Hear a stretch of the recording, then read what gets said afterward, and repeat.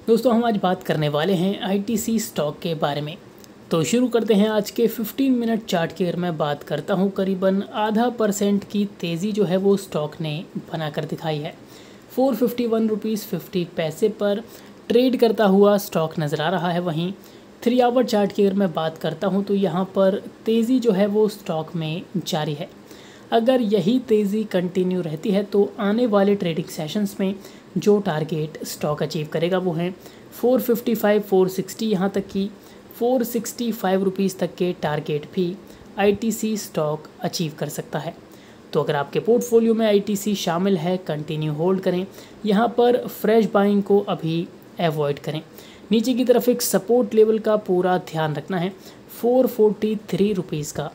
इस सपोर्ट का ध्यान रखें। अगर इसको ब्रेक करके स्टॉक नीचे जाता है और निचले लेवल्स देखने को मिल सकते हैं। बात करें टारगेट्स की, यहाँ से तेज़ी बनती है तो 460 470 रुपीज़ तक के टारगेट्स अचीव कर सकता है स्टॉक। तो देखिए, यही स्ट्रेटजी आपको अपनानी है आईटीसी स्टॉक में। वीडियो देखने के लिए आपका बहुत बहुत धन्यवाद।